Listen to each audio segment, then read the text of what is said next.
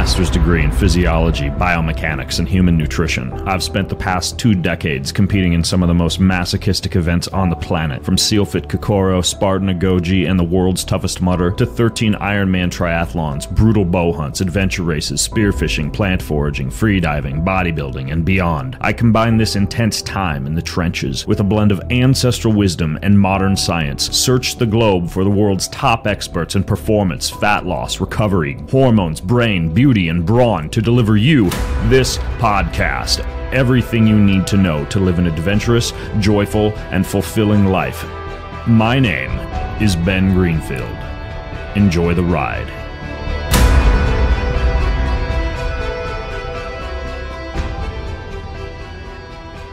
Hey, Super Ultra Special podcast episode you're about to hear is the first of a two part series that I recorded when I was in Lexington, Kentucky, lecturing at a wonderful precision medicine conference down there. Not only did I get a chance to get on stage and talk about all the different blood and biomarker tests you should get, how to interpret them, how to line up your reference ranges, what tests are worth your time, what tests aren't worth your time.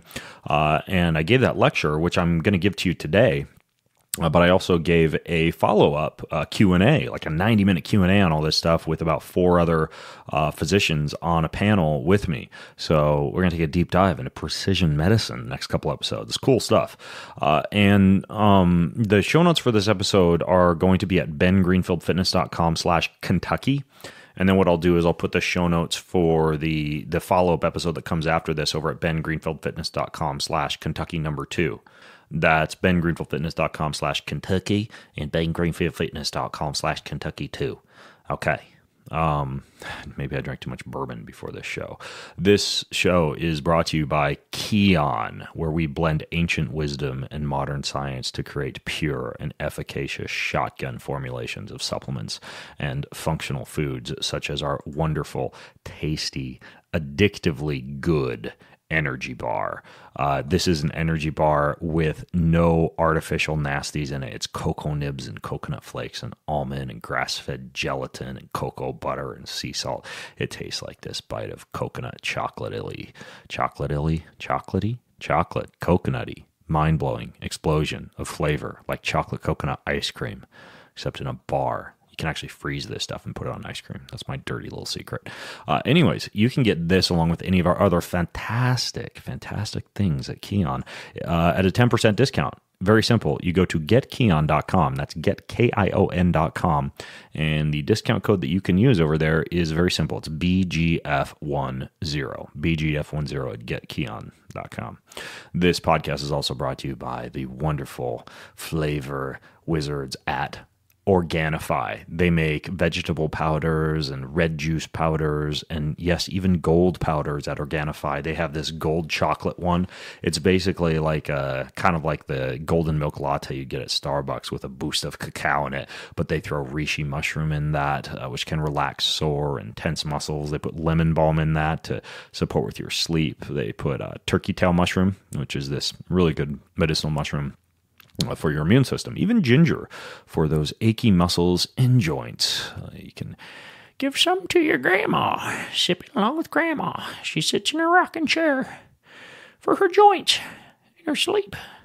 I'm sorry, I just offended all the grandmas out there who are like not in rocking chairs with poor joints. I'm just stereotyping. So anyways, uh, Organifi is given a 20% discount off of this wonderful tasting brew. Very simple. You go to Organ. I keep saying that. Very simple. It because it is. It's very simple. You go to Organifi.com slash Ben. That's Organifi with an I dot com slash Ben and use code BENG20 to get 20% off.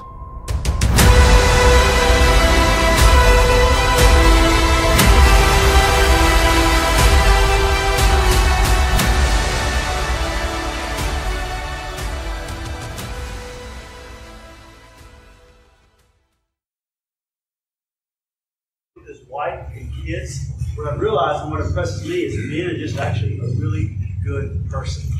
Like seeing how mindful and intentional I he is. Him. Three days yeah. But seeing how intentional he is with, with his kids and his wife. They, um, we were going to a horse farm tour one morning, and they hadn't had time to do their gratitude journal, so they did it in the car um, on the way there. every meal they take a deep breath in and they talk about what they're grateful for. To see how his kids, he, he enjoys his kids and he lets them have a great time, but he's looking for all these teachable moments. It's really been inspiring. I feel like I should tell you that because you all know the other stuff, but you may not realize that. Now, how does that help you right now? It doesn't. So luckily, he's also really smart. He's going to give you some great knowledge right now. I've, I've learned a lot from, from Matt and Mike too uh, about the, the genetic SNP stuff they do.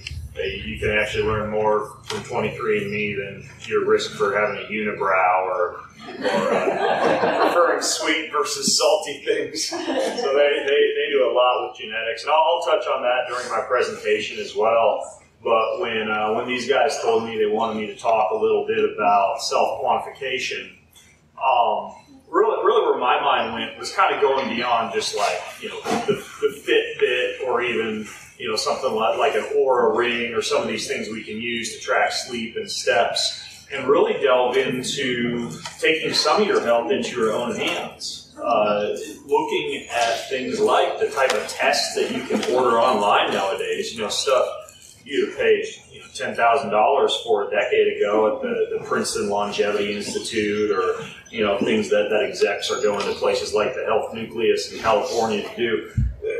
There, there, there's so much that we can now learn uh, just from from our own computer browser via an email inbox when our PDF results from some you know, home blood test or that, that stool that we annoyed our spouse with by keeping in the refrigerator for a couple days before we mailed it off to the stool lab.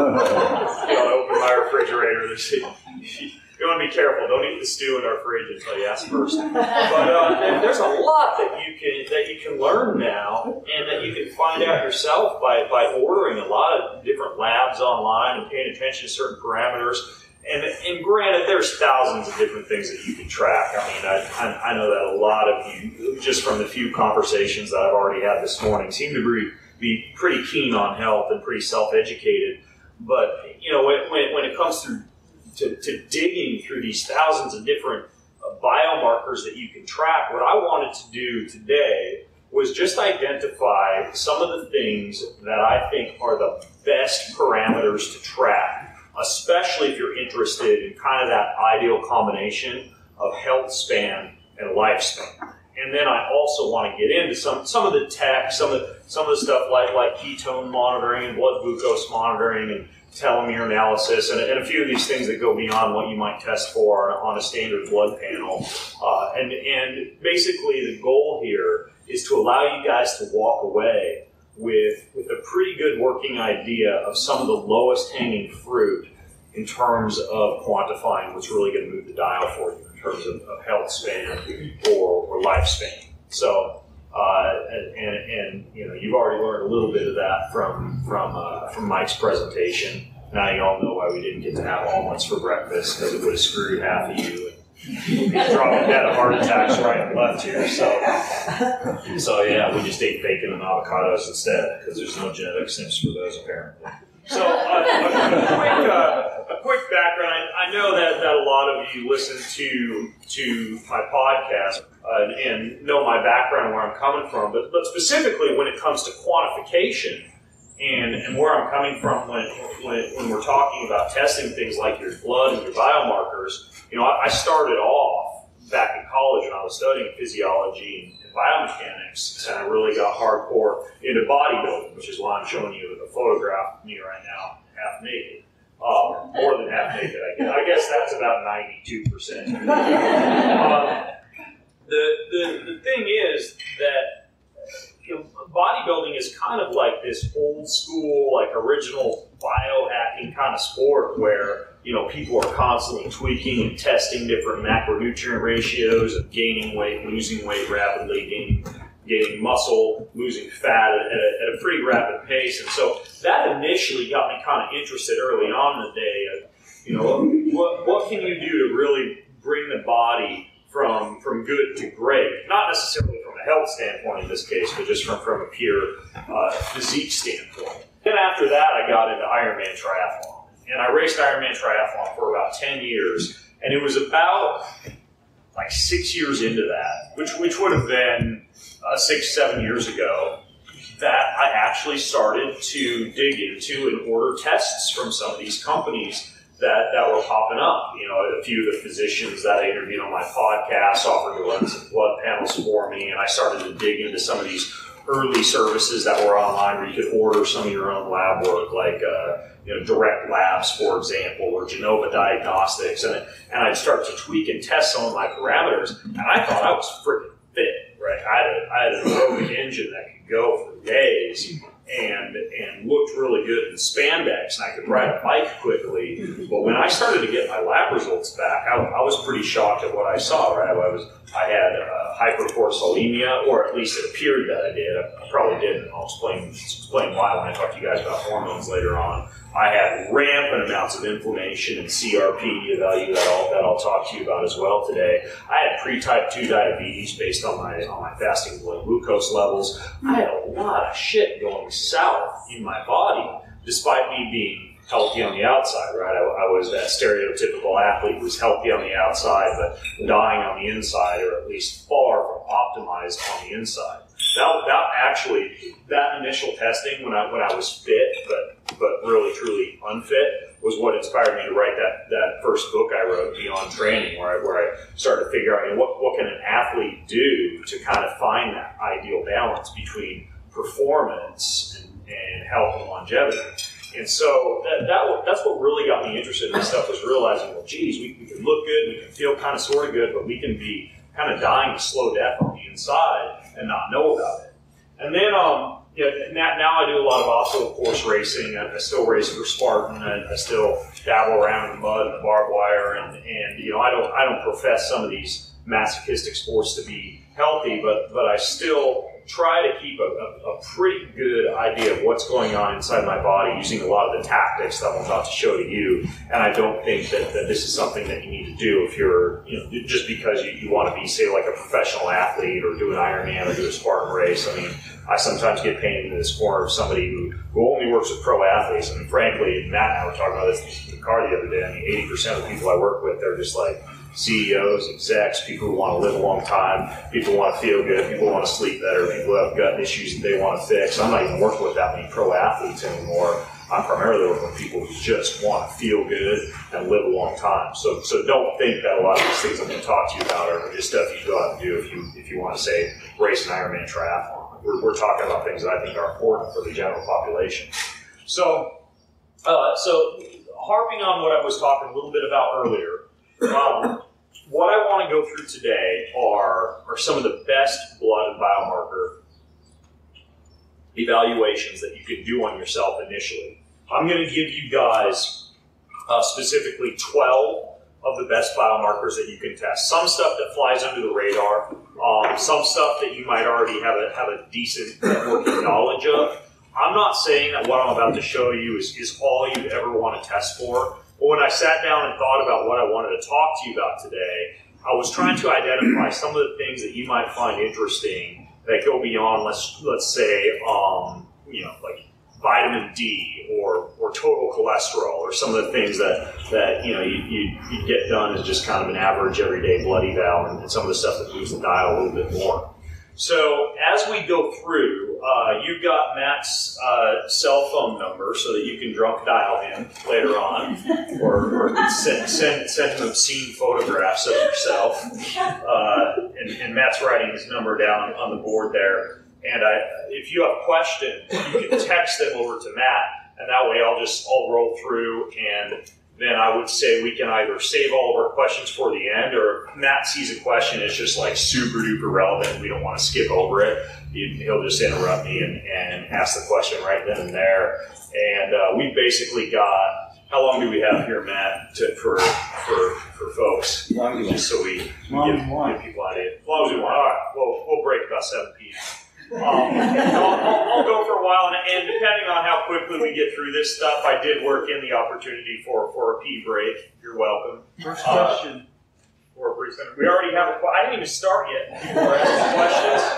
What product you use in your hair? It looks amazing. the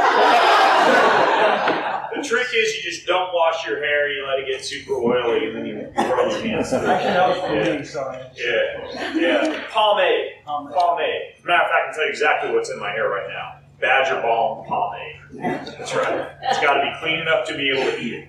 That's, that's my only rule for what goes in my hair. Aside from that, I'm, a complete dummy. I just kind of grab what happens to be in there. So before we get into what what what parameters you want to look for in your blood biomarkers, it's kind of important for you to understand that when you get the results back from, from an average, let, let's say a, a comprehensive metabolic panel and, and, a complete blood count from your doc, and you're looking through all these reference ranges and and uh, they're going over with you, or you're looking at, at it yourself, and you're just kind of this is what a lot of people do, right? They look for oh, what's what's marked high and what's marked low, like like they'll just kind of skip over everything else and, and pay attention to what seems to be leaping out from the lab test. A lot of times when you gauge your results, it'll be like a big bold number that says too high or too low, or you have something like Wellness FX where something will pop up red and everything else is green, so you just pay attention to to the red part. The problem is multifold when it comes to interpreting this data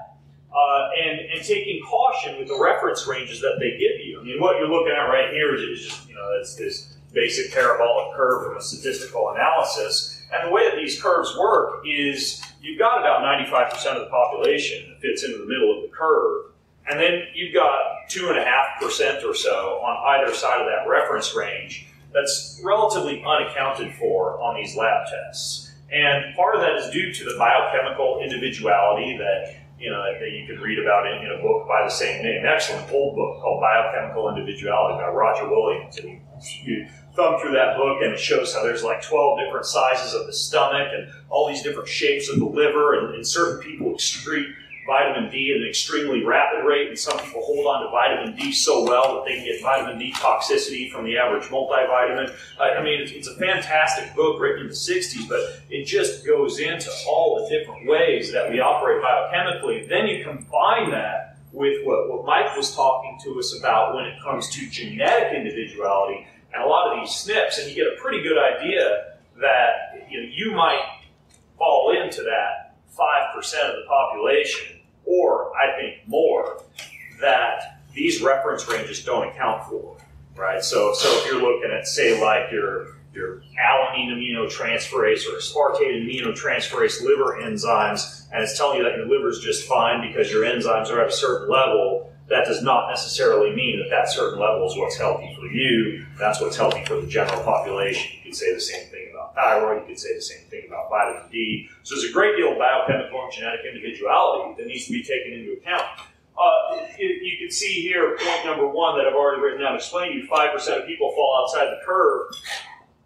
Another thing is that ranges tend to widely vary from lab to lab meaning that typically when, you, when you're getting a test, the reference ranges that that lab is using, those are supplied to them by the test manufacturer, whether that be Genova Diagnostics or uh, or, or, or, Metametrix or, or, any of these other companies that are, that are producing these tests. What labs are supposed to do is they're supposed to go out and get, get a third party eval to see if those reference ranges actually are correct and, and fall within the value that that test manufacturer has recommended. The fact is, most labs don't do that. So you might test with one lab and it'll tell you your vitamin D levels are perfectly normal. You might test with another lab, it'll tell you your vitamin D levels aren't. It'll give you different reference ranges. And as you'll learn about when I talk about, say, food allergy testing, different labs in many cases are using different tests that are using different forms of evaluation. So you need to understand that your value is going to vary widely from lab to lab, or even from physician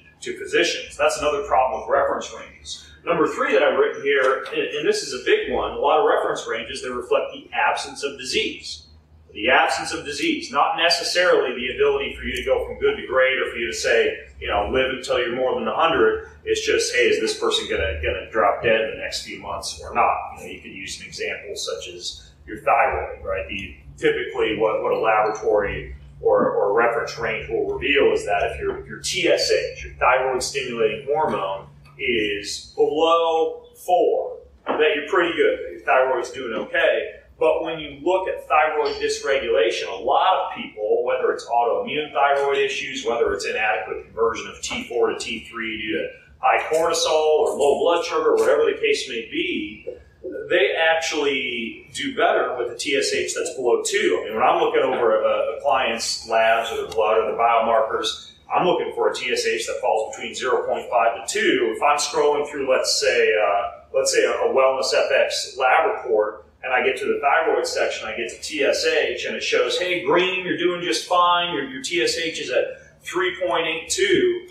Well, to me, that that's actually not a great TSH. Sure, that that, that that's going to indicate that I might not have full blown hypothyroidism, but it's not an indication of really great thyroid function right? So, so you want to take into account the fact that many of these reference ranges do not reflect good to great. And the same could be said for, for inflammation or magnesium or any of these other parameters that I'm about to show you. So you need to realize that many of the lab reference ranges are absence of disease and not necessarily your potential for longevity or for health span.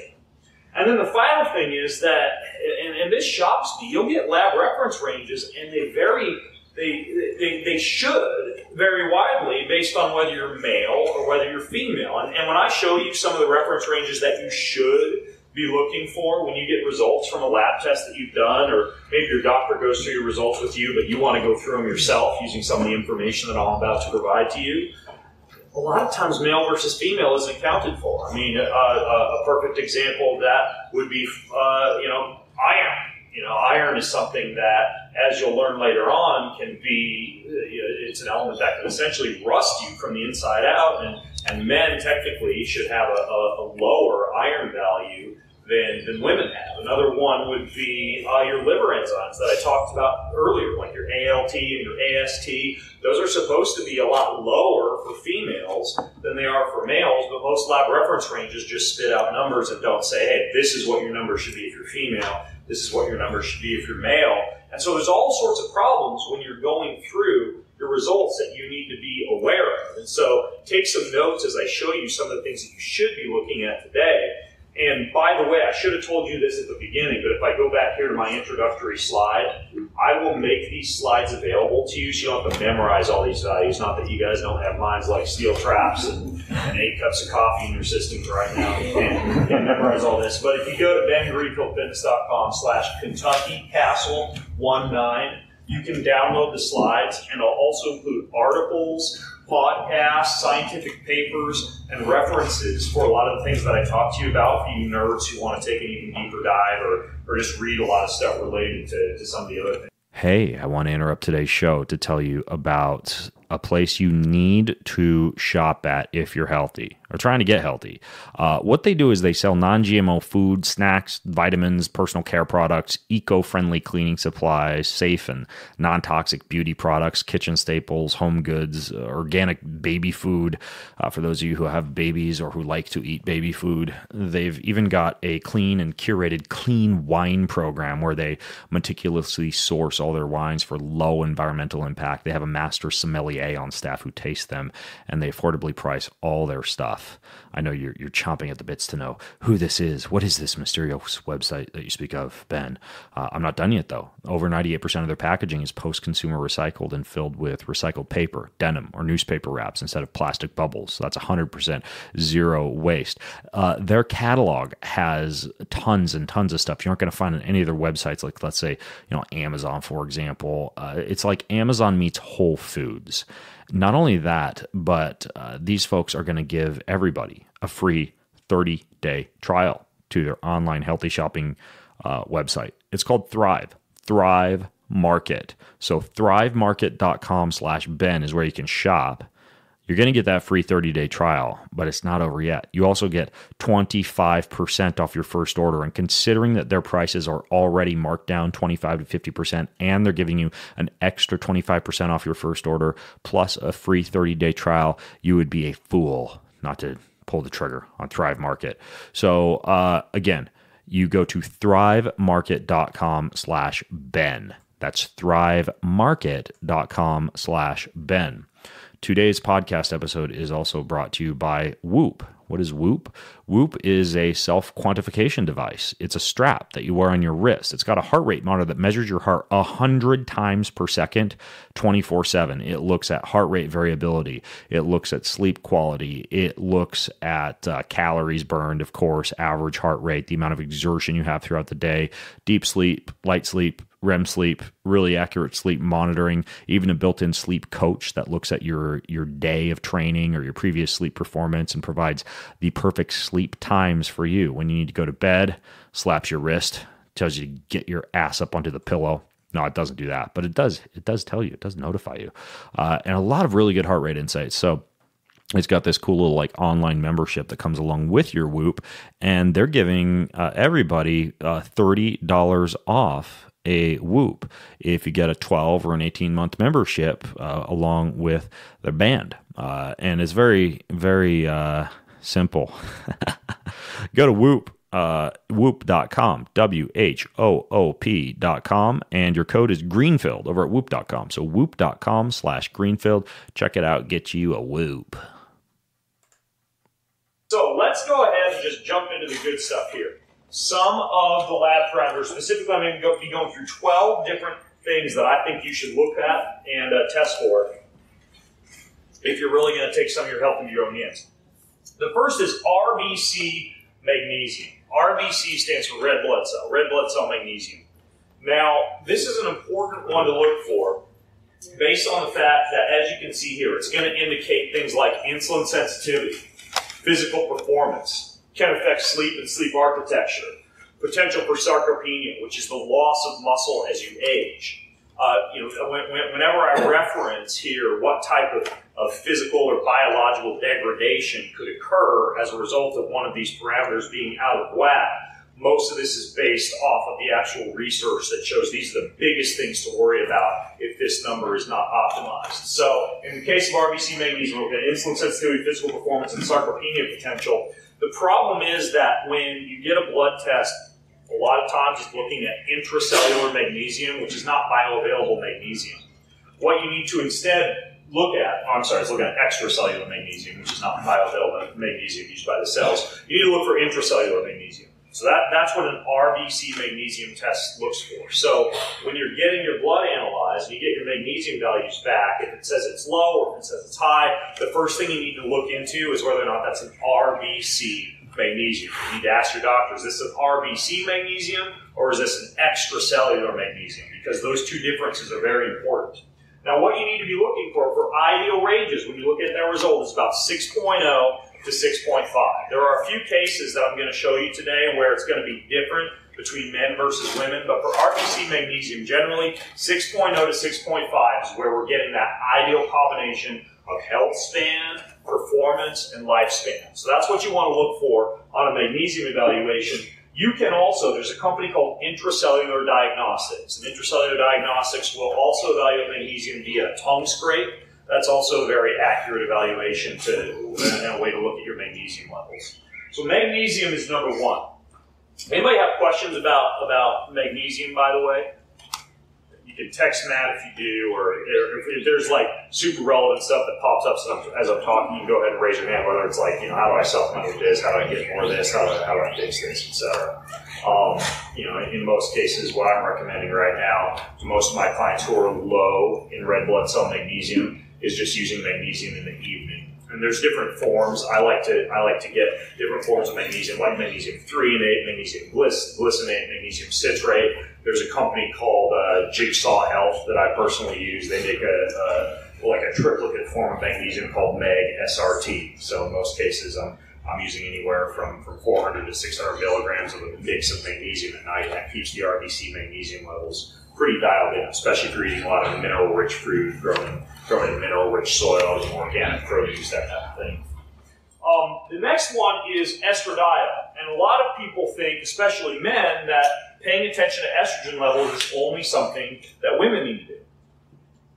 But estrogen is actually something I think flies under the radar as far as something we need to pay attention to. You can see here what I've listed, all the different things that low estrogen levels or optimized estrogen levels would affect. Bone mass, oxidative stress, or your antioxidant potential, your nitric oxide production, glutathione, one of, one of the main antioxidants in your body, uh, muscle repair, muscle strength, non-optimized estradiol levels are going to affect all of those things, so it's an important number to look at. Uh, for men, I've got the ideal ranges written right here, 10 to 82 picograms per milliliter. That's what you need to look for on your results. Women, it's, it's going to fluctuate based on where you're at in your cycle, but you can see some of the different values here for women, less than 50 picograms per milliliter during menstrual periods, up to 200 during follicular development, up to 400 just before ovulation. Now, when it comes to measuring hormones, the problem is that blood measurements will often just give you a snapshot of what's going on with those hormones, and they also won't show you the upstream and downstream metabolites of those hormones. I'm a bigger fan of a salivary or, even better, a urine test to evaluate your hormones. A salivary test can at least give you, via four to five different salivary measurements in a 24 hour cycle, what's occurring during the entire day because your hormones are supposed to fluctuate during the entire day. If you're just driving to a lab in the morning or your doctor does, does your labs at 8 a.m. in the morning, gives you that one time blood snapshot of a hormone, you're not getting the full picture. An adrenal stress index, a salivary index, can give you a little bit more data, but what I'm going to show you in a couple minutes here are the results of something called a Dutch test, which is a dry urine test for hormones. And this one's great because it not only gives you what the adrenal stress index gives you as far as how your hormones are fluctuating during the day, because basically what you're doing is you're peeing on a strip at five different points during a 24 hour cycle. Uh, but it can also give you the upstream and the downstream metabolites of those hormones. So you can see, and I'll, I'll, give you an example of cortisol, for example, and why this is important, why you might get a blood test that says you're super duper high in cortisol and you need to meditate and, and do yoga and, and, listen to Enya while you do your enemas and all this stuff lower cortisol. And in many cases, it's actually not the fact that your cortisol is high. It's, a, it's a, the issue is that the cortisol is not being broken down adequately. So we'll get into the Dutch panel a little bit. But estradiol is the second one in addition to RBC magnesium that I think you need to look at and track. Kind of opposite of estrogen or estradiol would be testosterone. And, you know, men think that only women need to track estradiol. Women think that only men need to track testosterone. But the fact is both sexes should be paying attention to both of these hormones. In the case of testosterone, we're looking at libido, sexual performance, energy, strength, bone density, muscle mass, cardiovascular disease, and overall mortality if testosterone levels are not optimized. I'm not necessarily saying that everybody needs to be on bioidentical hormone replacement therapy, even though that, that's a very good strategy, I think, as you age, assuming that it's overseen by a doctor and you're testing frequently to make sure levels are optimized. But you should at least be paying attention to different things you can do to optimize hormones. Now, the, the biggie with hormones is that they can be bound up by proteins. You, know, you look at testosterone, for example, testosterone, your total testosterone can be bound up by two different things albumin proteins or sex hormone binding globulin. Now, if your total testosterone is bound up by albumin proteins, it's still relatively bioavailable. More importantly, if your total testosterone is bound up by sex hormone binding globulin, it's not as bioavailable. You'll oftentimes find that if your cortisol is truly very high, your sex hormone binding globulin is also high because it's almost that message that that that that nature sends your body that it doesn't want you to make babies in times of stress, right? So you got a lot of cortisol going on. You produce more sex hormone binding globulin to bind up that total testosterone to keep you from being free and active and keeping your, your libido elevated or keeping you from being sexually active. So the idea is that you want about 2% of your testosterone to be free. So if you look, let's say you're a guy, you get your total testosterone measured, you're trying to figure out if your free testosterone is where it's supposed to be, 2% of it should be free. So your T level should be at least 1 to 49 free T to bound T. Bound T being what's bound to sex hormone binding globulin and what's bound to albumin. So if your total testosterone is 500 nanograms per deciliter, then your free T levels would need to be right around 10 nanograms per deciliter. I'm a bigger fan of paying attention to free T versus just total T. Because some guys will have what might be considered to be low total T, like let's say you're, you're 350 or something like that, but they've actually got free T levels that are pretty good, that are even higher than 2% of that total value. On the flip side, you'll see guys walking around with like, you know, 1,000, 1,100 of total T, or, you know, some cases even guys on bioidentical hormone replacement therapy large amounts of total T, but because they're so stressed out or there's other things going on that, that are causing the total T to be bound, a lot of that testosterone just isn't bioavailable. So it's important to pay attention to your total testosterone and also to your free testosterone. So I've got a few values here for you. For free T, you're usually looking at ideal levels being about 4.6 up to 22.4. and your bioavailable T, which is your albumin bound testosterone, because remember, if, if, albumin is bound to testosterone, it's still bioavailable. If sex hormone binding globulin is bound to testosterone, it's less available. You want that to range from 110 to 575 nanograms per deciliter. For women, it's a lot lower, obviously. It ranges from 0.02 to 0.5 nanograms per deciliter, with ideal levels of bioavailable T from 0.5 to 8.5. The other thing that, that I always like to take a quick glance at if I'm measuring hormones like estradiol or testosterone is DHEA because DHEA is such an androgenic hormone. It's a precursor to estradiol, to cortisol, to testosterone. DHEA levels should ideally be optimized as well. That's why I like, for example, the Dutch test because it'll look at testosterones, it'll look at estrogen, it looks at freaking melatonin, it looks at cortisol, it looks at DHEA. So DHEA is another very, very good one to look at. Uh, it's, it's going to range quite a bit based on age. I'm going to show you here what DHEA levels tend to fluctuate like. What you're looking at right here is the reference range of DHEA for males. You can see that as you go from 0 to 100 on this scale, it ranges everywhere from 5 all the way up to 30 in terms of nanograms per milliliter. So it's going to change as you age, and this is another issue with reference ranges. You don't just pay attention to whether you're male versus female but it's also in some cases, especially with hormones, going to vary widely in terms of ideal levels as you age. So you can use a chart like this, for example, which would be ideal levels of DHEA as you age. You can look at your results, say, okay, I'm 40 years old, therefore, based on that, my ideal levels are going to be somewhere between, you know, approximately, if you look at this chart, like, you know, 8 up to up to 25. And I've got references in the in the slides if you want to go and, and look at an actual uh, reference from where this came. If you want to match up the numbers more precisely, here's another graph that shows you reference ranges for females. So when it comes to hormones, like I mentioned, I wanted to, to briefly touch on this Dutch test. This is what you're looking at right now is a screenshot of the Dutch test results. And it's kind of cool because it's almost got like this clock-like graph that goes from a low range up to a high range to show you if your numbers fall within the right parameters. And remember, this is this is the urine test that you do, the dry urine test. You can order this to your own house. You can do it yourself.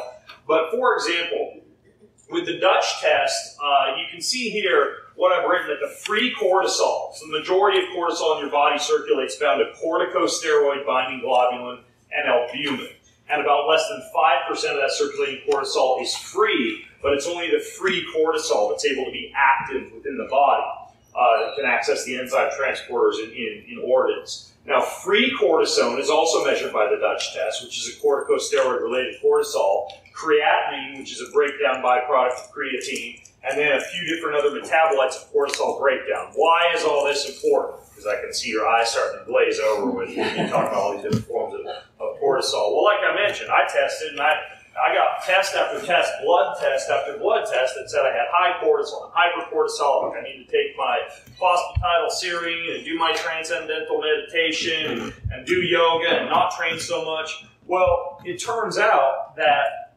what I actually found when I did my Dutch panel was that it wasn't that my adrenal glands were just producing cortisol 24 7 because they were so stressed out. Because it kind of puzzled me because I didn't feel like I was that stressed out. Instead, that cortisol just wasn't being broken down into its metabolites. Right? My cortisol metabolites were very high. So what did this indicate? Something was going on in my body that was keeping that cortisol from being broken down.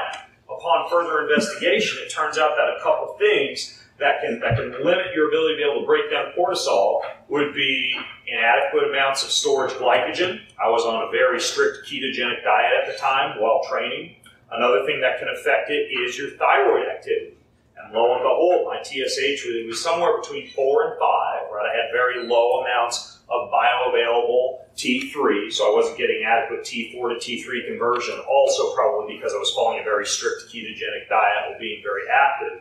So it turns out that for me, it's not about meditation, sleep, and de-stressing, which it could be for some people. For me, it was about eating more carbohydrates, paying attention to my training a little bit more carefully, and optimizing my thyroid, getting adequate iodine, getting adequate selenium, eating some organ meats, and taking it, take, taking that approach versus just lowering cortisol. So as you can see, learn some very practical things from a Dutch panel that give you deeper insight into what's going on with your with your hormones. Uh, it'll also test DHEA, like I mentioned, progesterone and progesterone metabolites, all of your different forms of testosterone, and even melatonin as well, so it can be, be an adequate test to kind of dig into sleep architecture a little bit. So that, that's why I like the Dutch test for measuring hormones. Number six, number six out of 12, although I think this might be number five out of 12 because I had some issue on the slide there. I don't know if you guys noticed. I both testosterone said both three and four, so we might be doing 11, not 12. But like Matt said, I, I graduated when I was I was 15, so I didn't get through as much math as I probably should have. But yeah, my counting's a little off. Yeah. Um, once I run out of fingers, I'm screwed. So, uh, high sensitivity C-reactive protein. This is that HSCRP I was talking about. Remember how I said that when I was racing, I felt really good. I looked good in spandex. I had an aerobic engine that could go for days, but I had rampant amounts of inflammation. Now, this is important because of the link between inflammation and specifically heart attack risk. Now, a lot of people will go in and they'll get they'll get their inflammation tested, and it'll be their HSCRP will be 0.8, 1.0, 2.0, 3.0. When, when you get above 10.0, that's typically a really big sign that you're probably you've had a heart attack, you're right on the verge of a heart attack. But with CRP, it is important to realize that if you're looking at it, you worked out the day prior, especially if you did some form of eccentric exercise the day prior. When I say eccentric exercise, I mean something that will cause the muscles to have to decelerate. Usually the top two are running or weightlifting.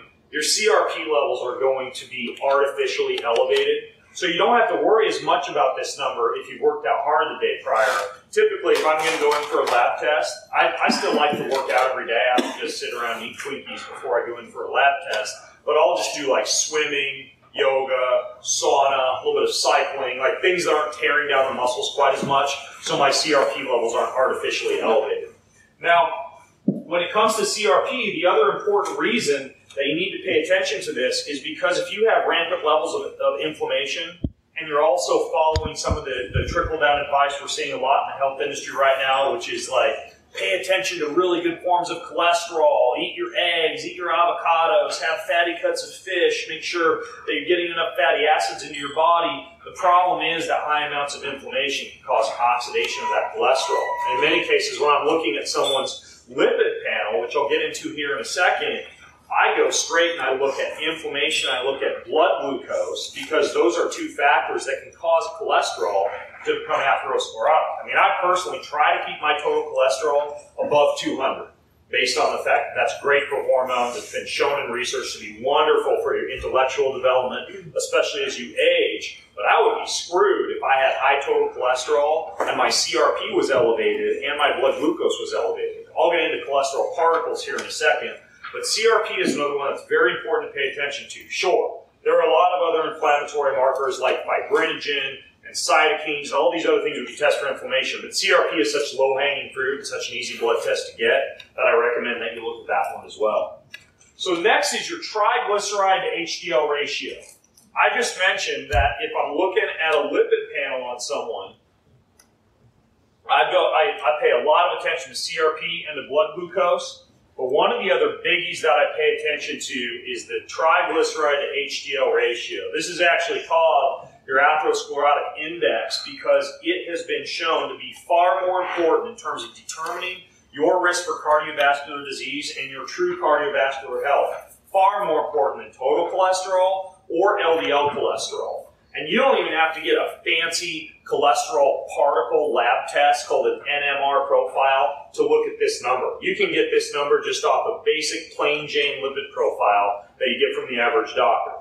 So let me show you what you want to be looking for when it comes to your trig to HDL ratio, which indicates, as I've written here, all-cause mortality, heart disease, and insulin resistance. Three biggies that take out a lot of people that influence both health span and lifespan are influenced by this trig to HDL number. So ideally, if you're looking at trends as you change your diet and you become healthy, triglycerides should generally go down over time. HDL should generally go up over time. What you want to look for for your ratios, your trig to HDL ratio, lower is better. You want to be below 1. This is the problem with reference ranges. A lot of times reference ranges will look at whether or not you're below 4. I think that that's bad news bears if your triglycerides, you know, if your triglycerides are at say uh, 150 and your HDL is at 40, in many cases a, a lab result will tell you you're doing just fine with this index of atherosclerosis, and that's simply not the case. I think I called it an index of atherosclerosis. I believe it's actually called an atherogenic index. Don't quote me on that, but it's uh. Anyways, your your trig to HDL ratio is very important. It should be lower. I like to see it below one. Meaning, what would below one mean? It would mean low triglycerides, high HDL, right? You want low triglycerides, high HDL. For example, someone says, well, how do you get your triglycerides low and how do you get your HDL high? HDL responds very favorably to things like omega-3 fatty acid sources, such as, as fish oil, for example. Fish oil supplementation has been shown to be wonderful for increasing HDL. If you ask the people who design the food pyramid, they'll tell you whole grains increase HDL. They do, like eating a diet of quinoa and amaranth and millet and oats and whole wheat bread, that will all increase your HDL. The problem is that many of those foods have the same glycemic index as a Snickers bar. So yeah, you're increasing your HDL, but you're also keeping your blood glucose relatively elevated simultaneously. Instead, from a dietary standpoint, plant intake, dark leafy greens, adequate fiber intake, a lot of these seem to positively favor HDL. Some people will say, well, what if I'm on the carnivore diet? What if, what if I'm doing like the low vegetable, low roughage thing?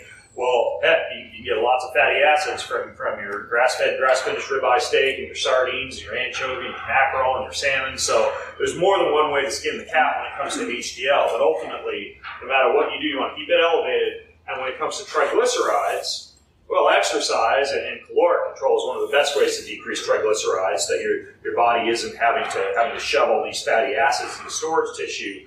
But two things that really elevate triglycerides are your intake of processed sugars and starches and your intake of vegetable oils. Like if you can adjust for those two things, you'll, you'll see your triglycerides start to go down. So it's almost like eat more plants slash fiber slash slightly limited amounts of whole grains or just fatty acids overall while decreasing vegetable oils and starches, and you tackle this index pretty thoroughly. The other one to pay attention to that's interesting, a lot of people don't look at is your HDL to total cholesterol ratio. So lower is better, and again, even if you don't get a particle count, NMR profile particle count, which I'll talk about in a second, this can still give you a decent idea because it's correlated to particle count. So if you look at your HDL to total cholesterol, uh, let, us say your HDL is at, at 70 and your total cholesterol is at 190, great, because you want that ratio to be 0.24 or higher. 0.24 or higher for your HDL to total cholesterol. So you can very easily, if your doctor sent you a PDF or a printout of your lab results, just go look at HDL, go look at total cholesterol, go look at triglycerides, and you can calculate all of these numbers yourself and see if you're really truly falling into the range that you want to be at.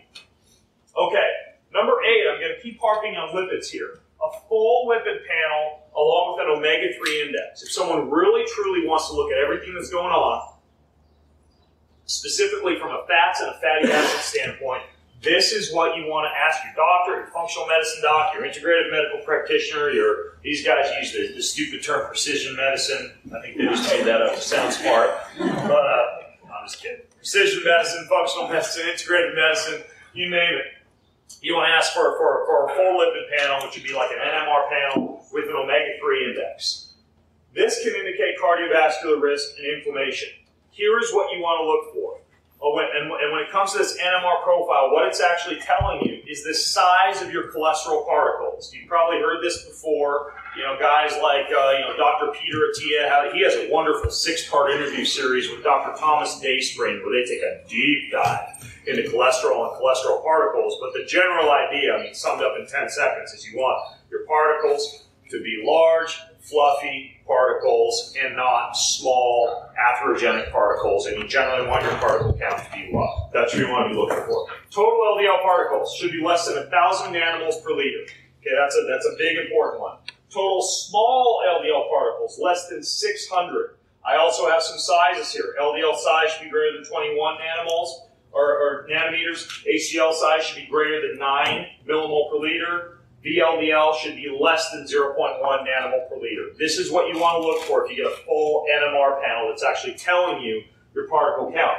Now, the other thing is an omega 3 index to go hand in hand with this, which actually measures the EPA and the DHA in your red blood cell membranes. Okay, so it's an index. You can see the example here is that I've written is if you have 64 fatty acids in the cell membrane, and three of those fatty acids are comprised of EPA and DHA, you would have an omega index of 4.6. Okay, that, that's how that calculation would go. Now, an index of 8% or higher is ideal, meaning you want your index to be higher when it comes to your omega-3 index, the amount of EPA and DHA in your cells. Most people are testing, especially in America, somewhere between about 4 and 6%, indicating in many cases they would be, from a dietary standpoint, consuming too many omega-6 fatty acids from vegetable oils, seeds, nuts, nut butters, parent essential oils, etc., and too little omega-3s from a more Mediterranean, you know, olive oil, avocado, olives, uh, you know, fatty fish, small fish like mackerel, anchovy, sardines, etc. That's generally what you see. Vegetable oils are also a, a big,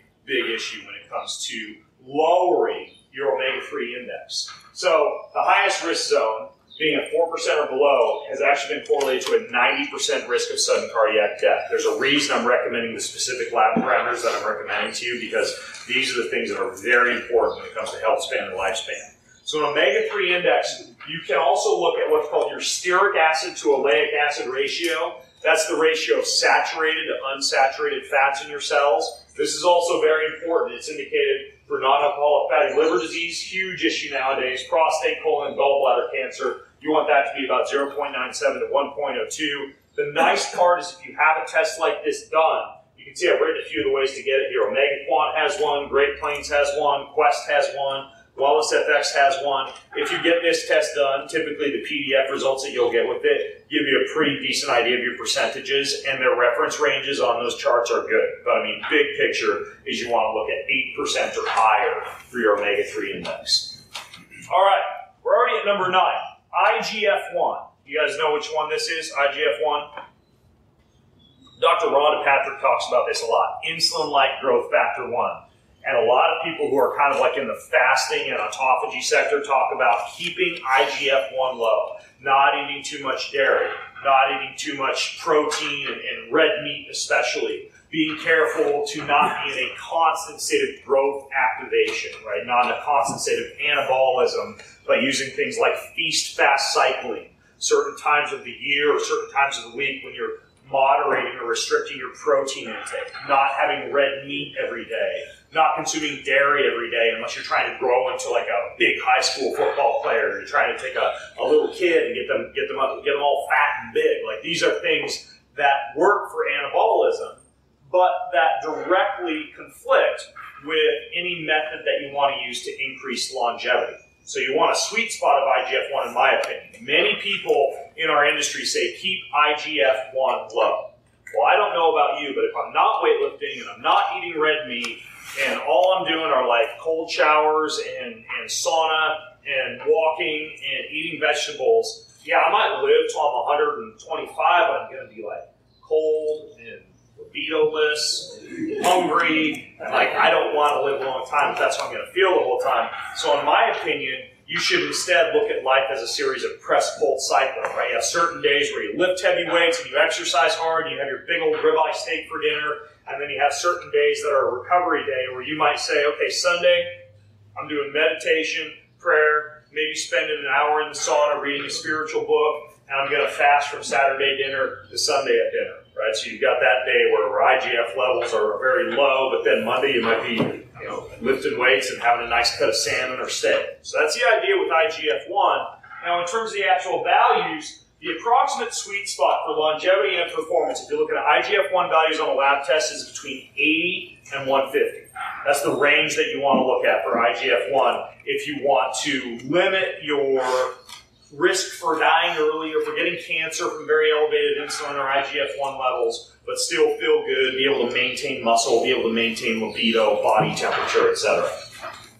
Okay, number 10 is very, very similar, and uh, I could say just about the same things about insulin as I could about IGF-1.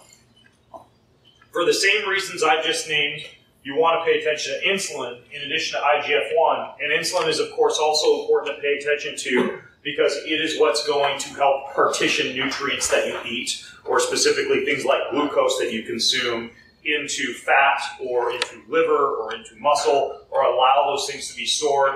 Constantly elevated insulin levels, you've no doubt heard this analogy before. If you constantly have insulin circulating through your bloodstream, your receptors eventually become insensitive to insulin. You create insulin resistance or insulin insensitivity. So you want to pay attention to insulin levels a lot of times a normal blood test isn't showing you insulin, but you want to make sure you get that tested for in addition to your blood glucose. I'll talk to you about blood glucose testing later, but you can't you can't constantly measure blood glucose like you can constantly measure insulin. Like this weird thing on the back of my arm here, this is tracking my blood glucose 24-7. It's called a Dexcom G6. At any given point, I can pick up my phone, I can look at my phone, I can get what my blood glucose values are. I can see what a cup of coffee does to it, I can see what you know, speaking on stage and in, front of a, a, a, bunch of grumpy people who didn't get to eat eggs for breakfast does to it. Like I, I, can always know what my blood glucose is. They don't make that for insulin, so you, you actually get a blood insulin evaluation. You ideally want it to be below three. Some reference range will tell you below five. I'm a bigger fan of being below three international units per deciliter of insulin.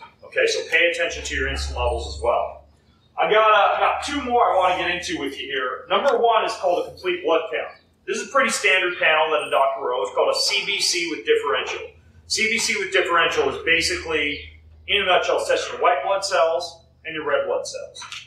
Why is this important? Well, your white blood cells are your immune cells. Your red blood cells are your information carriers for things like oxygen and hemoglobin.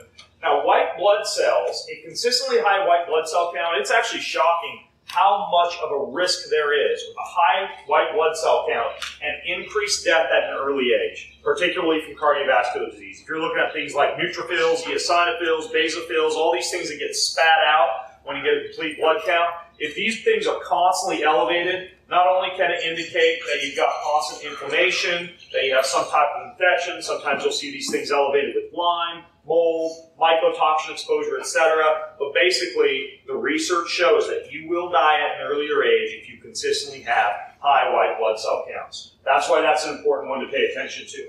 Uh, when it comes to very, very low white blood cell counts, a lot of times you'll see uh, like psychological depression or a depressed immune system or poor immune system function being associated with that. And there are reference ranges for these. Um, and like I mentioned, increased risk of mortality associated with high white blood cell counts is maintained over 40 years follow-up from these tests. So this is a pretty powerful thing to pay attention to. I've got some percentages out here for you because typically your white blood cell counts are reported in terms of percentages. Neutrophils, you want at 40 to 60%. Higher than that indicates viruses, autoimmune disease, or detox issues. Lymphocytes, you want at 25 to 40%. Higher would be increased risk of illness or chronic infection. Monocytes, 0 to 7%. Higher would be liver dysfunction, sometimes Epstein-Barr, or recovery from it, or prostate issues. Eosinophils, 0 to 3. Higher than that sometimes indicates food sensitivities, environmental allergies, or parasites. Basophils, 0 to 1%. Higher than that a lot of times indicates histamine intolerance. So here's an example of how you use this. Let's say you test, you constantly are showing high white blood cell counts, and in particular noticing eosinophils are high you haven't yet decided that you want to shovel out, say, 500 to $1,000 for something like a Cyrex food allergy panel, but you've seen this on the past two blood tests that you've done, these eosinophils being elevated, so finally you decide, okay, my white blood cell counts are showing I probably have a pretty high risk of something that I'm eating causing a food allergy, or I'm intolerant to something I'm eating, I should go out and get a food allergy test. You can sometimes use some of these cheaper tests, like a CBC, to give you a pretty good idea of whether or not you should order a more expensive test, like food allergy evaluation. And I'll, I'll get into food allergy testing today as well, by the way. So, red blood cells, you're going to see a lot of different values. Your, your, your mean corpuscular volume, your mean corpuscular hemoglobin, uh, your mean corpuscular hemoglobin concentration, your red blood cell distribution risk, your mean platelet volume, and your platelet distribution width. I don't have time today to get into every single reference range for each of those values. But what I can tell you is that some of the biggest things you want to pay attention to are your red blood cell count, low being anemia, high being a risk factor for essentially like increased blood clotting or thick blood. You know, erythrocytosis is typically the most common. So for women, 4.2 to 5.4 is a sweet spot for red blood cells. For men, 4.7 to 6.1. For children, 4.1 to, to uh, 5.5. So those are the main things you want to look at for red blood cells. Make sure that kind of similar to CRP, you haven't done heavy exercise going into a CRP test. You want to make sure going into a red blood cell evaluation or complete blood count that you're well hydrated because a lot of times if you're dehydrated, that can throw off values, particularly your red blood cell values. So just something to pay attention to. Uh, but complete blood count can tell you a lot, as you can see. And then finally, there's iron. Iron, a lot of times, is uh, it's, it's heralded, I think, probably because of, of, the sporting industry and the athletic industry and the prevalence of anemia in a lot of hard charging athletes, particularly endurance athletes who have a very high red blood cell turnover.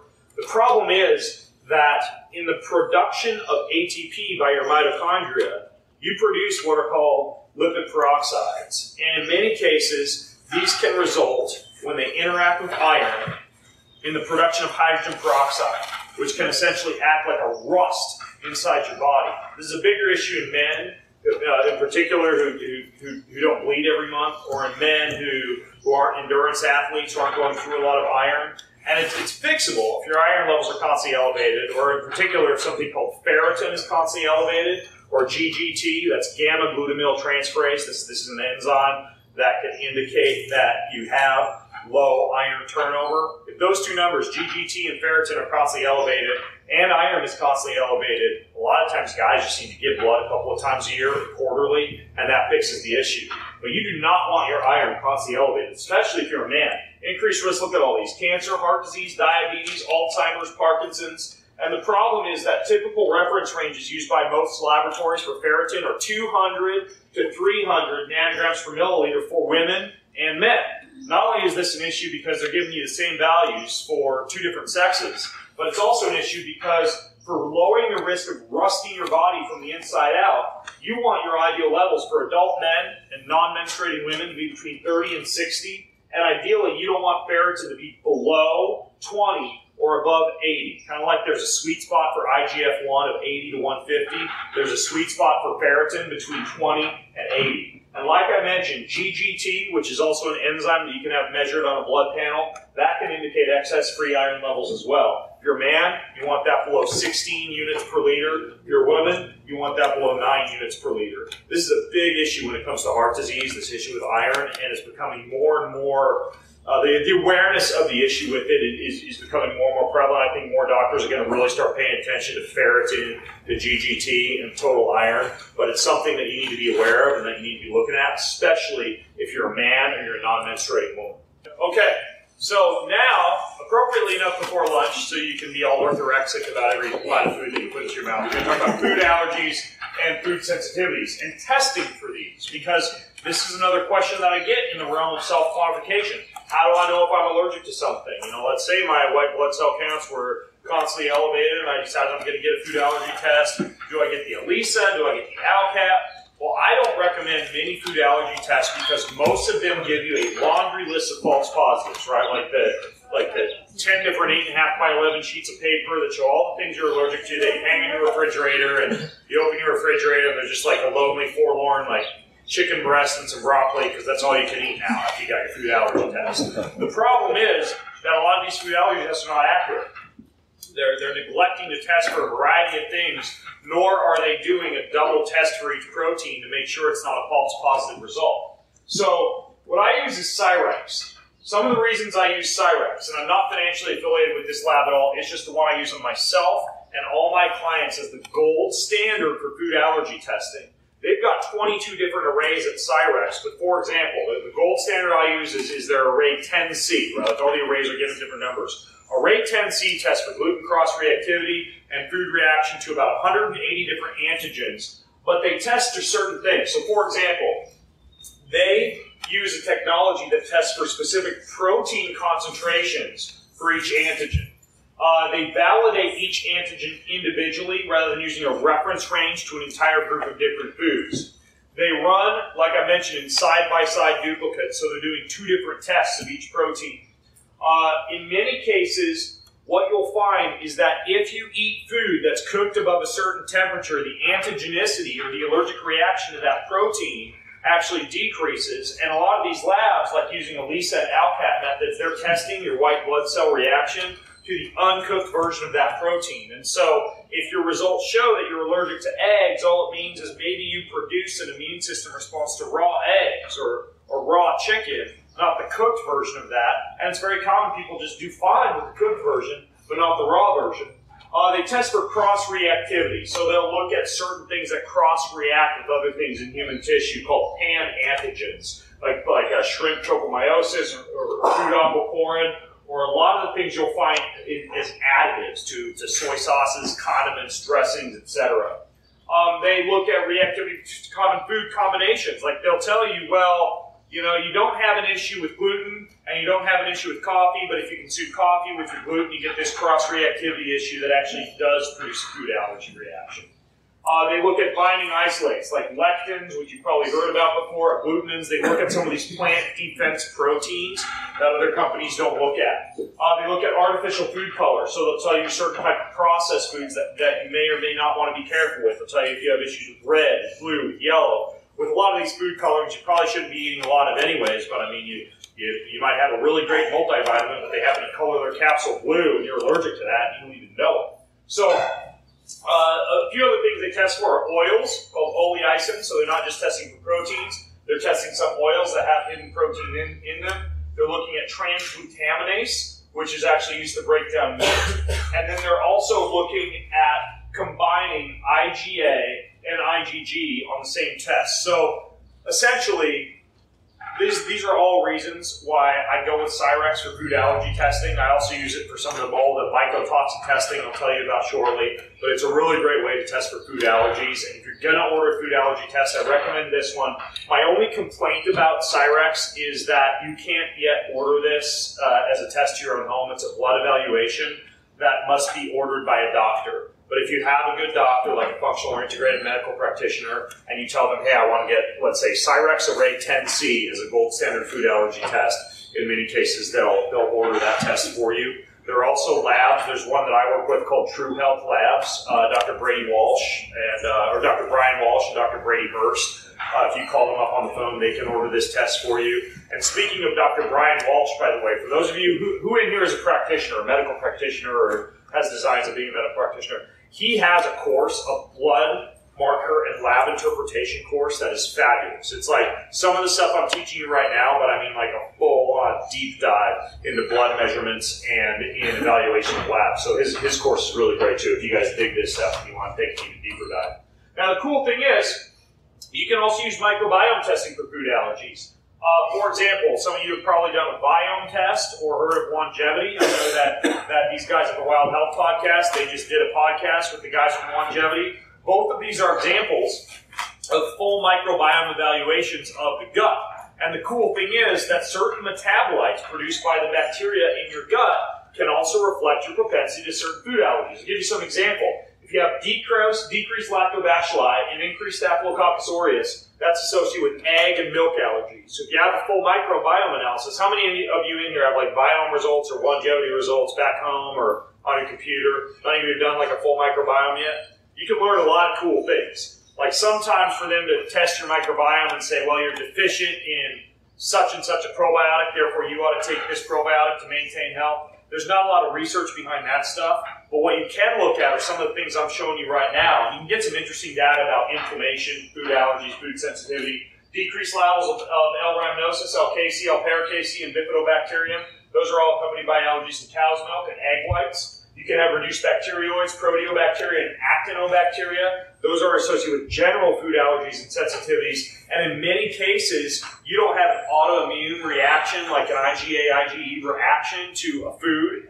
In cases, or in many cases, it can be your biome, like a bacterial imbalance that's, that's affecting your propensity to produce certain histamines and have certain issues in response to certain foods. Uh, lack of microbiome diversity. If you get your results back and it just says you have a low amount of bacterial diversity, that can increase your propensity to gluten, to FODMAP, and to histamine production. Uh, there are certain species of bacteria that actually can help you with your production of polypeptidases that break down gluten. If you are deficient in those uh, bacteria, sometimes you're not gluten intolerant, you're bacteria deficient. And by replacing or paying attention to these elements of your microbiome, you can fix these issues. You can get back to eating, eating bread, for example, or things with gluten in them. Uh, bacterial overgrowth of the small intestine that's when there's an overall deficit of good bacteria in your gut. That's another thing that you can pay attention to. You risk for something called small intestine bacterial overgrowth or SIBO. And then histamine intolerance. Let's say you get a headache after you have a glass of red wine or some kombucha or some fermented food. This can also be aggravated by an overgrowth of histamine producing bacteria. And when you look at the results from microbiome tests like Viome or Onegevity, and these are home tests, it's just a very small swab of your stool. Don't be proud of yourself. I have some clients who are so proud that they have managed to shovel a whole heaping teaspoon of stool into the tube, and that messes up the results. Like pay attention to the to the instructions when you're hovered over the toilet doing your microbiome analysis. But you can get some very, very good data from your stool that doesn't just indicate like a, like a three day stool panel. I'll, well, you know, I'll talk about the three day stool panel in, in a second here. Well, we'll come back to that because that will test for different things like yeast, mold, fungus. The microbiome test, you're more looking at the absence or presence of certain bacteria, the bacterial diversity, and some amount of inflammatory markers. So that's another one that I recommend that you get. Mold toxicity. Anybody in here familiar with the, the growing prevalence of mold issue in homes, mold and mycotoxin exposure in food, fungus, etc. A lot of these can cause issues with food allergies, and uh, they're, they're brought on by mold and mycotoxin exposure. You essentially develop a hyperactive immune system, and things that you weren't allergic to or sensitive to prior to that exposure, you become allergic or insensitive to. So companies like Quest Diagnostics or LabCorp, they can measure the following: C4A, TGC, TGF-beta1, MSH, VIP, VEGF, and MMP9. Now, I realize there's a lot of acronyms. Have time to get into all of them, along with leptins, but all of these can actually indicate that your body has been exposed to mold or mycotoxins and you might have some amount of mold toxicity present. It's a huge issue. One of the best books that I can recommend to you that I think you could probably get through, even if you're not a medical practitioner, is by, it's a relatively new book by Dr. Neil Nathan called Toxins. It's a great walkthrough of the issue with mold and mycotoxins and the multimodal approach that's necessary to get rid of the biofilm and to fix the issue for good because it comes down to a lot more than just say take an oil of oregano and, and a full spectrum probiotic or something like that. Like these are serious issues that, that take some management.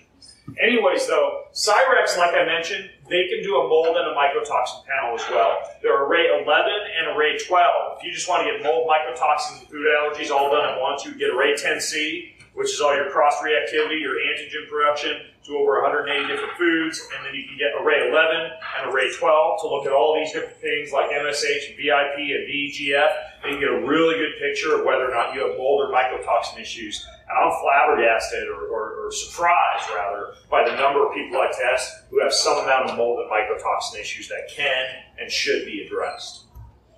Okay, micronutrients most blood panels are going to tell you things like vitamin D, or say, in many cases, RBC magnesium. Vitamin E, vitamin A, sometimes. Vitamin B, you know, you'll usually get B12 and, and some of these other major vitamins covered.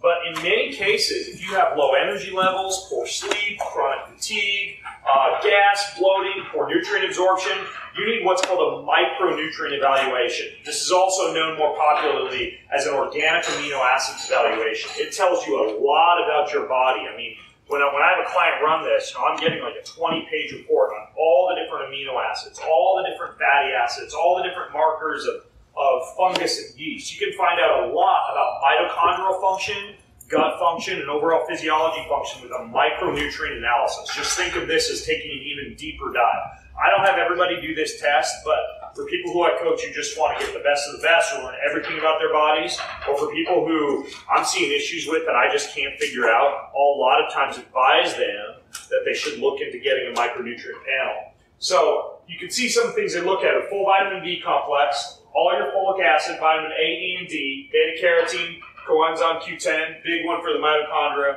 all your amino acids, all your fatty acids, all your organic acids, elements for inflammation and oxidation like lipid peroxides and homocysteine. These are these are markers that go above and beyond just the HRC, the HSCRP that I talked about, and then compounds with yeast and fungal origins. So you can find out a lot from one of these analyses. Um, the the one that I use is uh, called the Metametrix Ion Panel with 40 amino acids. I know that's a mouthful. I'll put a link to that one in, in the uh, resources page for this presentation. If you go to, what did I say it was, bengreenfieldfitness.com slash Kentucky Castle 19. So that that's a good test to get. They're more expensive. These tests sometimes go in excess of thousand dollars, and because they're so kind of niche, a lot of times aren't covered by insurance. But you can learn a ton about your body, even if you just do something like this. You know, once every few years, just to make sure there's no lagging micronutrient issues. There's a lot that you can discover from these micronutrient evals.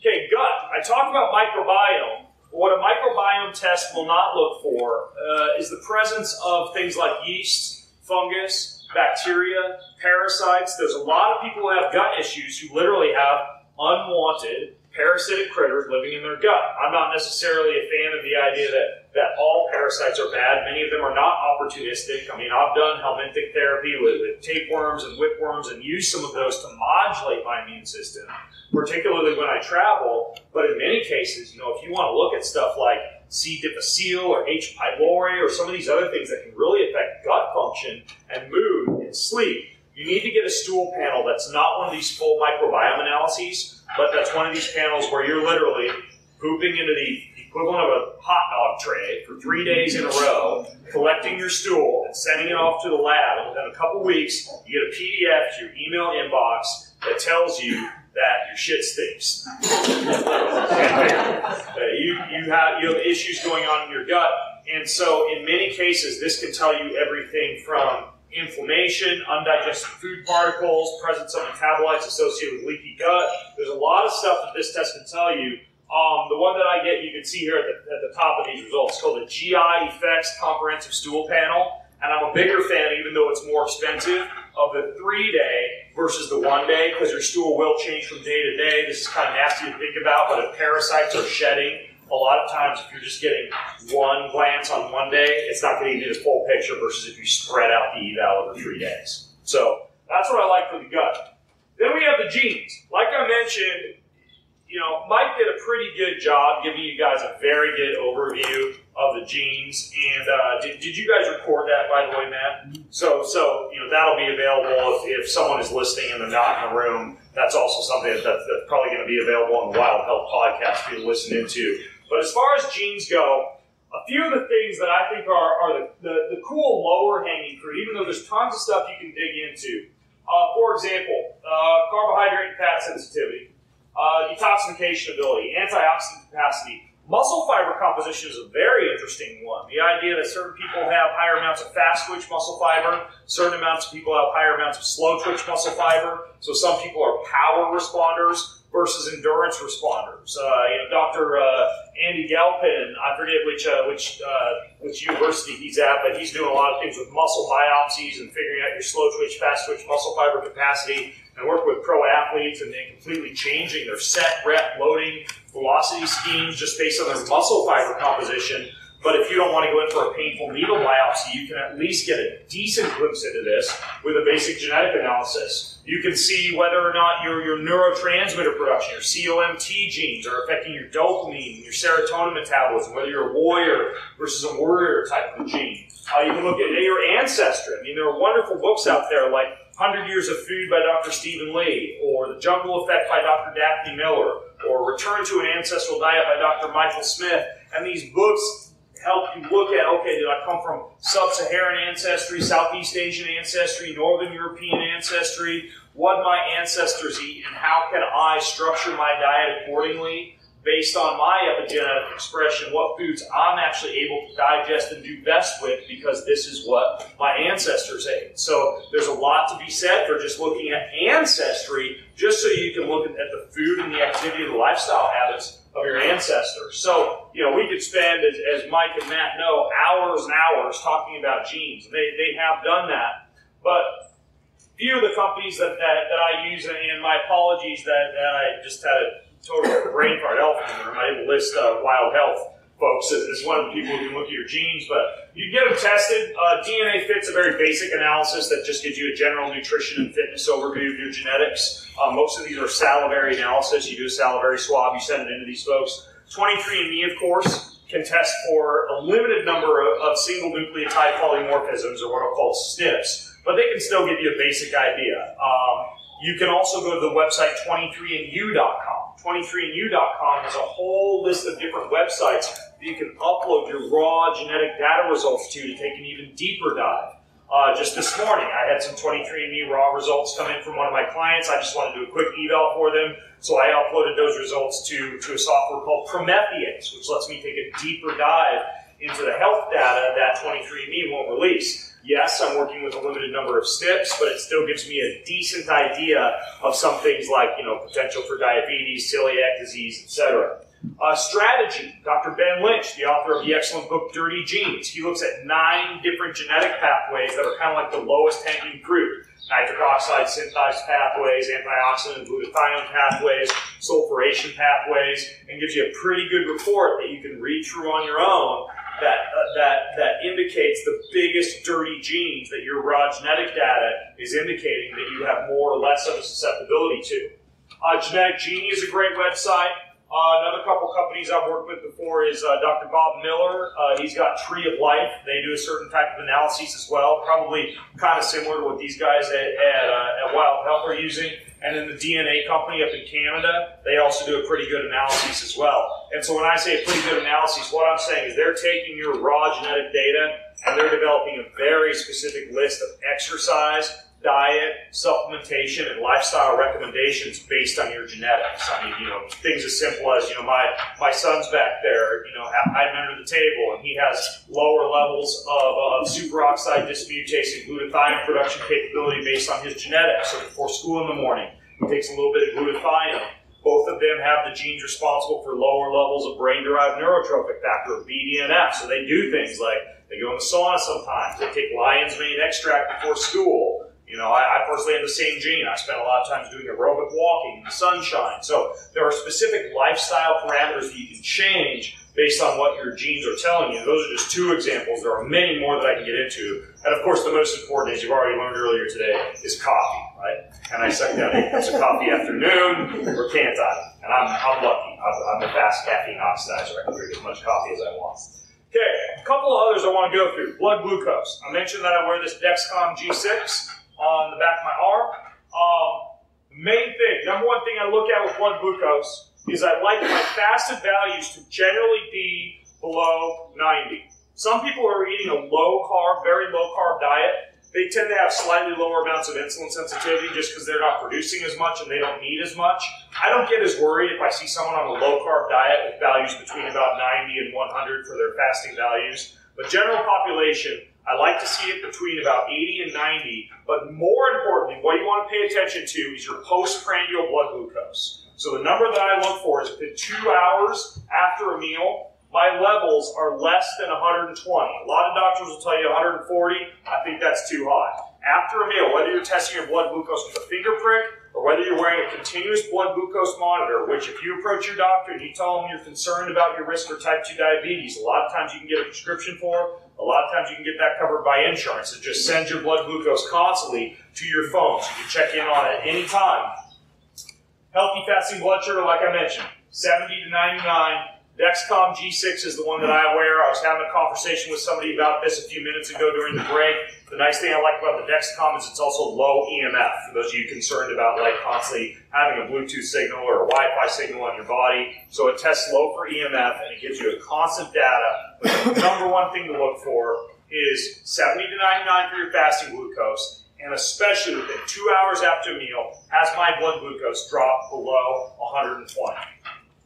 Ketones are another thing I get a lot of questions about. This is something that I measure. I have a breath ketone monitor in my office. There are also companies now like Keto Mojo that are coming out with very cheap, like less than a dollar versus four dollars a strip, cheap ways to test your blood ketones.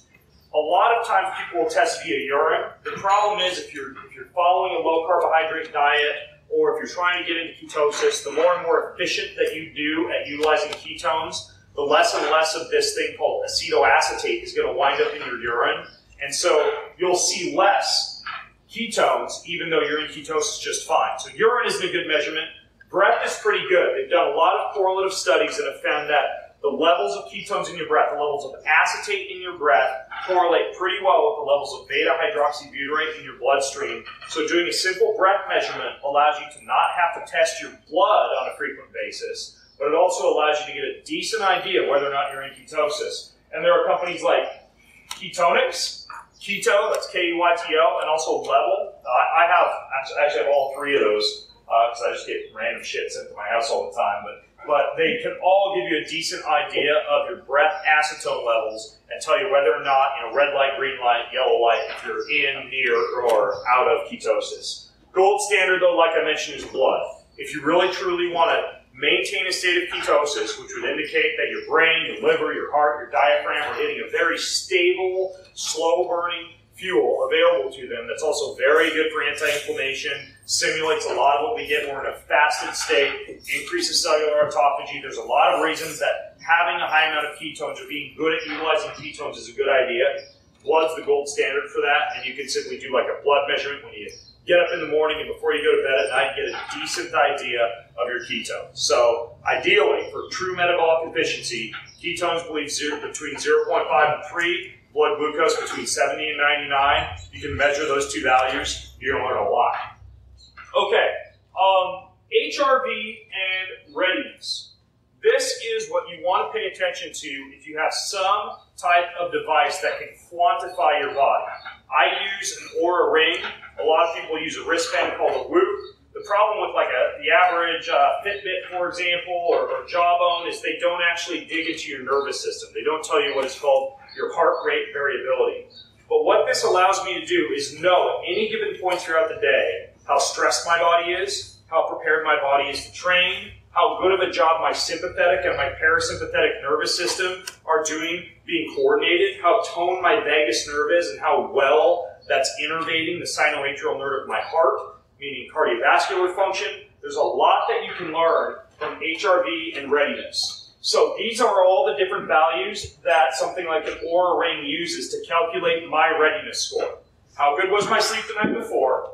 How balanced has my sleep been over the past week?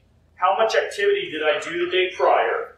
What was the activity balance of that activity based off my activity on other days? What's my body temperature, which is very important, right? A lot of times your readiness will be low when you wake up in the morning because you've had meat sweats all night or the room was too cold uh, resting heart rate, and especially your recovery index, which is how good a job your heart rate is doing recovering and dropping low after exercise. And then finally, heart rate variability, which is a measurement of the difference in time between each beat of your heart, which indicates good interplay between your sympathetic and your parasympathetic nervous system. Okay, so these are all eight factors that go into calculating a morning HRV or readiness score you could look at all these individually. One of the reasons I wear the Oura ring is because I can just wake up in the morning and I can dig into each of these numbers individually if I want to, but it can also just say your readiness score. Like my readiness score today was at about 80. Not super high, but my sleep score was really high. I got great sleep last night, but it was so high because I took 26,000 steps yesterday right? So it, it, looked at my step count and said, okay, you had a very high, disproportionately high amount of activity yesterday. You had good sleep, but you should be careful not exercising too much, which is why I'm not wearing my weighted vest right now in my backpack with the kettlebells in it. It's the only reason. Usually I wear that on stage. But you get a really good idea of how your body's doing each day. The other thing is sleep. Sleep can also be measured, and these are the parameters that I look at with sleep. Again, I use the Oura ring to do this. Total sleep, sleep efficiency, meaning a lot of times you can be laying in bed for nine hours, but you get six and a half hours of sleep, right? That's poor sleep efficiency. Sleep disturbances, how many times you wake up during the night? REM sleep, which is where a lot of our memory consolidation and learning is going to occur, and then deep sleep, which is where a lot of nervous system and muscular repair and recovery is going to occur. We want adequate levels of both. Sleep latency, which is how long it takes you to fall asleep. If your head hits the pillow and you're asleep in three minutes, your sleep latency score is going to be great If you lay awake with racing thoughts and it takes 37 minutes, your sleep latency is going to be poor. And then sleep timing. How's your sleep architecture based on your circadian rhythm? Are you going to bed at, at 9.30 and getting up at, at, say, 5.30 on a regular basis? Or are you 11 one night, 9 another night, 1 a.m. another night? That would indicate poor sleep balance and poor sleep timing. So there's a lot of things to pay attention to that go beyond just, was I in bed for 8 hours tonight? Do I wake up and I'm not sore tonight? These are all ways that we can quantify our body, and it's easier and easier to do now in this day and age. So I really don't think there's any reason that, that, that you shouldn't be quantifying things like sleep and HRV. All right, I've got, a, I've got two more slides to show you here. So we're on the home stretch. The first is telomeres. A lot of people want to know if you can actually measure the telomeres, the end caps on your DNA, to figure out whether or not your telomeres are shortening at too rapid of a pace. Because generally, you have adequate levels of telomerase, an enzyme in your body that regulates telomere length. Your telomeres are shortening at not too rapid of a pace. This would indicate that attempts you're making to increase your health span, or more specifically your lifespan, your longevity, are actually paying off. Now, telomere testing is a little bit of the wild, wild west right now. A lot of times they're just testing, for example, the telomeres on your on your white blood cells off single drop of blood. You tend to get results from different labs that come back telling you different telomere lengths. Uh, for a long time, I was pretty hot on using TeloYears. But I recently interviewed Dr. Bill Andrews. Excellent podcast on all the different things that can help keep your telomeres long. Go, go listen to my podcast with Dr. Bill Andrews if you haven't yet. But he likes repeat diagnostics and life length as the top two ways to measure your telomeres, which you can do on a yearly basis to find out what your biological age is compared to your chronological age. Like maybe you're you're chronologically 60, but biologically your, your telomere length shows you're 49.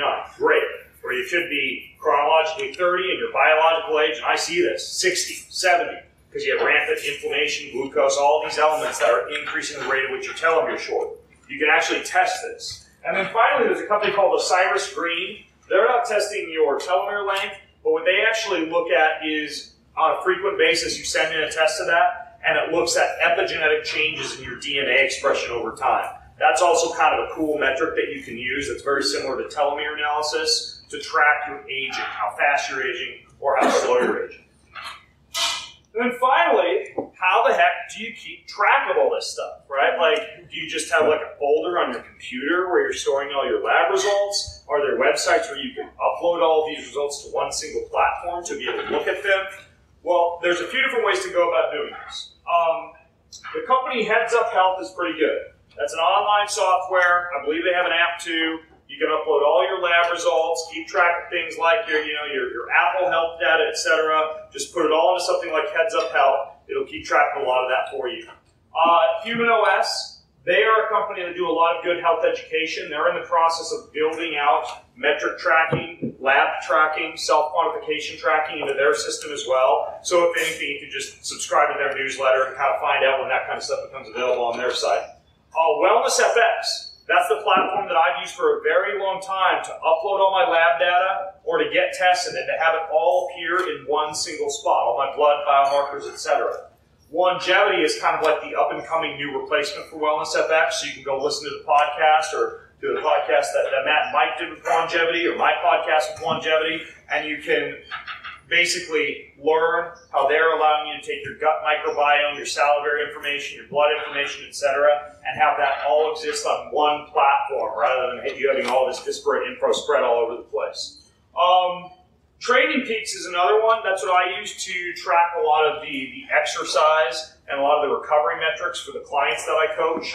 And then finally, Dropbox. Like you can literally have just a single Dropbox folder. And the cool thing is, and this I'll tell you exactly what I do is all my lab results from any company go directly into a Dropbox folder. I can then upload those to a Onegevity platform or a Wellness FX platform. And then my Oura Ring data, like my sleep and my HRV and my food data, that just goes straight into my phone on an app. When I'm coaching a client, it's very simple. I have access to their training peaks, so I've got all their workout and their exercise information. I have access to their Oura Ring, so I've got access to all their sleep and HRV information. They take a, they have a private Instagram account. They share their food logs with me every single day, and then I keep all of their lab information on Dropbox. And that, that allows me to just have everything in just a few different spots and keep track of blood and biomarkers on Dropbox, HRV and sleep on the Oura Ring data, food on on Instagram, and exercise on Training Peaks. Right, so I can I can juggle four different things. That's generally the same approach that that I use myself.